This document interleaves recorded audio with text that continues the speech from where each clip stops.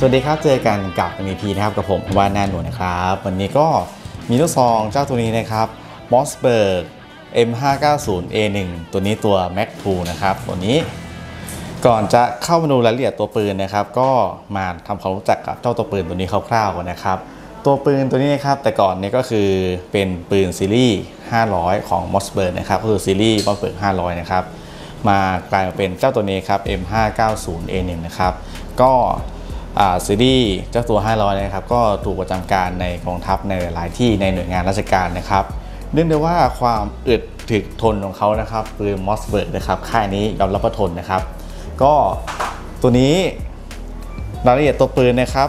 คร่าวๆนะครับ ก็คือตัวนี้เป็นามาจากซีรีส์ M500 นะครับ แล้วก็มาเป็น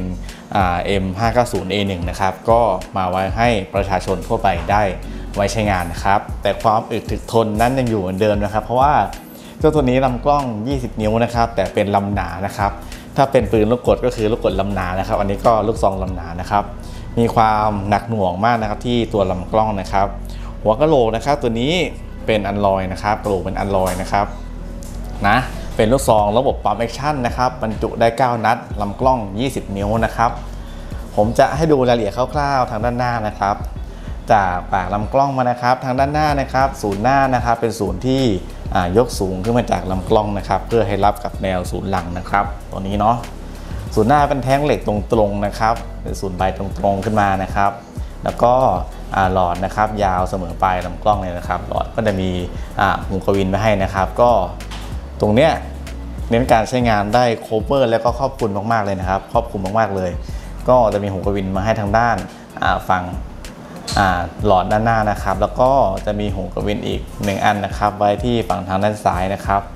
น่าจะมีไว้เพื่อพกพาไว้ห้อยนะครับไว้สะพายนะครับ ทางด้านอย่างที่บอกครับก็คือตัวนี้เป็นตัวแม็กพูนะครับ กระโจมหน้าก็จะเป็นแม็กพูหลังก็จะเป็นแม็กพูนะครับ ซึ่งค่อนข้างที่จะสวยงามแล้วก็เข้ากับตัวปืนมากๆนะครับคุณนะครับ ตัวนี้อะผมจะให้ดูนะครับของ แอคคูลแทกกระโจมนะครับ ตัวนี้ก็จะมีร่องนะครับที่จะสามารถติดอุปกรณ์เพิ่มเติมได้อีกนะครับ ตัวนี้ประมาณนี้เนาะมีร่องที่จะสามารถติดอุปกรณ์เพิ่มเติมได้อีกนะครับตามสไตล์แมคคูลนะครับ ก็จะทำอ่าทรงประมาณนี้นะครับ ก็จะมีกำแพงด้านหลังนะครับ ไว้ให้สากระโจมได้อย่างง่ายดายนะครับ ผมจะลองสากระโจมให้ดูนะครับ นี่นะครับอ่าประมาณนี้เนาะ ตัดไปที่หัวกะโหลกนะครับ ก็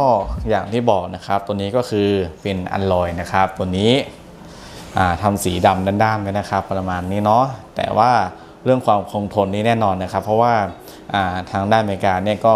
จัดได้ว่าอยู่ในกองทัพเรือก็มีการใช้งานเจ้าตัวนี้นะครับ ก็ออกมาเป็นภาคประชาชนก็คือเจ้าตัวนี้นะครับ M 590A1 นะครับ ด้านบนนะครับก็จะมีลาพิกาเทนี่นะครับตัวนี้ นะครับไว้ติดอุปกรณ์เพิ่มเติมนะครับศูนย์หลังแบบโกดริงนะครับแต่ตัวนี้จะไม่มีกำแพงขึ้นมาบังนะครับ คือ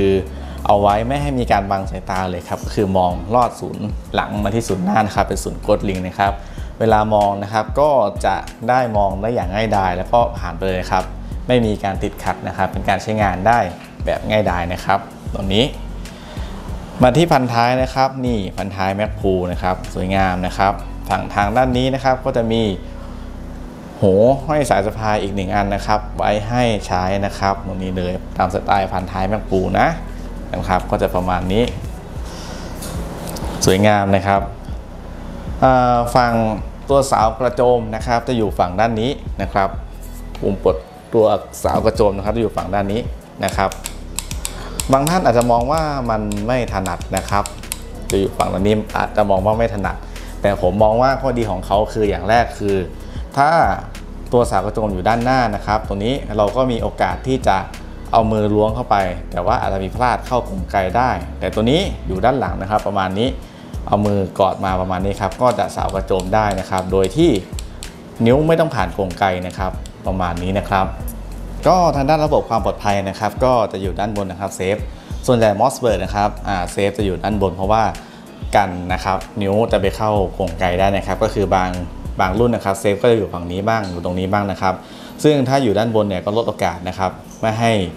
นิ้วไปพลาดเข้ากรงไกช่วงจังหวะที่เราเข้าเซฟได้นะครับ ก็นี่นะครับก็เข้าเซฟได้เลยนะครับ ก็ไม่ต้องเอานิ้วเข้าไปกรงไกนะครับ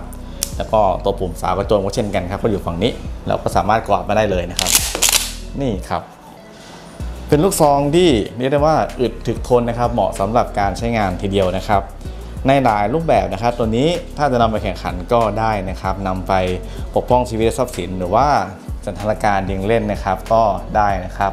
ด้วยรูปร่างลูกทรงที่เป็นแมกพูนะครับค่อนข้างที่จะเป็นสวยงามครับด้วยรูปร่างที่เป็นทรงแมกพูนะครับโจมหน้าแมกพูพันท้ายแมกพูสวยงามนะครับ ก็อย่างที่บอกนะครับ ตัวนี้คือปืนที่ใช้ในหน่วยงานราชการของอรัฐบาลในประเทศต่างๆนะครับหลายประเทศก็ใช้ตัวนี้นะครับ ก็ มาทำเป็นรูปแบบของประชาชนนะครับมาจากมอสเบิร์ก500 นะครับตัวนี้พัฒนามาจากมอสเบิร์ก500 นะครับ อย่างที่บอกครับลำกล้องหนามากนะครับ ด้วยพันท้ายแม็กพูด้วยสวยงามนะครับ ที่สำคัญคือรับประกันความอึดแน่นอนครับ ถ้าจะดูลำกล้องดีๆเดี๋ยวผมจะให้ดูใกล้ๆเลยนะครับ อันนี้เป็นเคลียร์นะครับจะเห็นชัดนะครับว่าหนาเยอะกว่าปกติเลยครับ ถ้าท่านใดได้มาสัมผัสดูก็จะรู้นะครับ ถึงความหนักหน่วงของลำกล้องนะครับ ตัวนี้ หนักหน่วงมากนะครับ ก็ตัวนี้นะครับก็จะมียางรองพันท้ายมาให้นะครับ ประมาณนี้ด้วยนะครับ ช่วยซับแรงดีคอยได้ในระดับหนึ่งนะครับ เพราะว่าตัวนี้ลำกล้องหนักๆทั้งหวงเนี่ยมวลน่าจะเยอะพอสมควรนะครับ ก็น่าจะใช้ได้เลย แต่ถ้ามีโอกาสก็อาจจะได้ไปยิงให้ดูนะครับ ก็เป็นลูกซองที่ครบครันมากนะครับเรียกได้ว่าความอึดอึดถึกทนนะครับ ความปลอดภัยทางด้านระบบการใช้งานนะครับ แล้วก็ยิ่งด้วยว่าเป็น pump action ด้วยนะครับ ตัวนี้การติดขาดเนี่ยมีน้อยแน่นอนแทบจะไม่มีเลยก็ว่าได้นะครับ แล้วก็ลำหนาๆแบบนี้นะครับ สวยงามครับ ก็ช่วงราคาของเขาตัวนี้ก็จะอยู่ที่ประมาณ 50,000ต้นๆนะครับ ตัวนี้ก็ Mossberg M590A1 นะครับนี่นะครับประมาณนี้นะครับ ก็สำหรับวันนี้ก็ต้องขอจบการทำรีวิวพิทานี่ครับ เดี๋ยวไว้เจอกันใหม่ในพี่หน้าครับ สวัสดีครับ